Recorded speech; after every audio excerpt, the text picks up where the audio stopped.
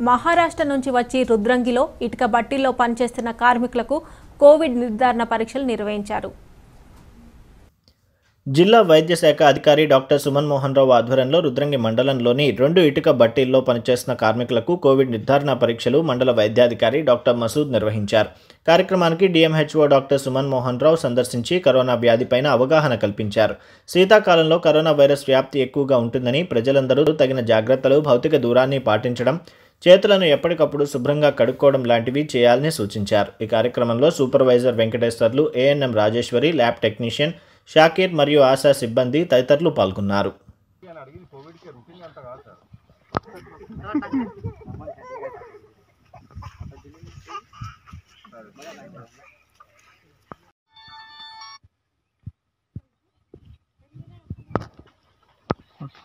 ఈరోజు రుద్రంగి మండలంలోని ఐరిస్క్ ఏరియాను విజిట్ చేయడం జరిగింది.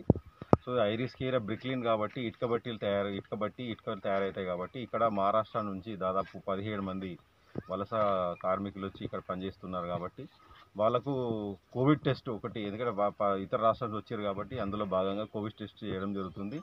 మరియు ఇక్కడ ఒక గర్భవతి ఇద్దరు పిల్లలు మరియు ఐదుగురు మహిళలు ఉన్నారు. వాళ్ళను కూడా అనీమియా లక్షణాలు ఏమైనా ఉన్నాయా? గర్భవతికి సంబంధించిన వాళ్ళ టీకాలు తీసుకున్నారా లేదా? ఇటువంటి విషయాలపై కూడా ఇక్కడ వాళ్ళని టెస్ట్ చేయడం జరిగింది. సో ఇటువంటి ఇంకా బ్రిక్లిన్స్ ఏమన్నా ఉంటే వాటిని కూడా విజిట్ చేసి అందరికి కూడా రొటీన్గా స్క్రీనింగ్ చేయాలని కోరుకుంటూ మా మెడికల్ ఆఫీసర్ చెప్పడం ఇన్స్ట్రక్షన్స్ ఇవ్వడం జరిగింది కాబట్టి నేను కూడా ప్రజలను కోరుకుంటే ఒకటే ఎటువంటి భయభ్రాంతికి గురి కాకండి. కోవిడ్ కేసెస్ తగ్గుతున్నాయి.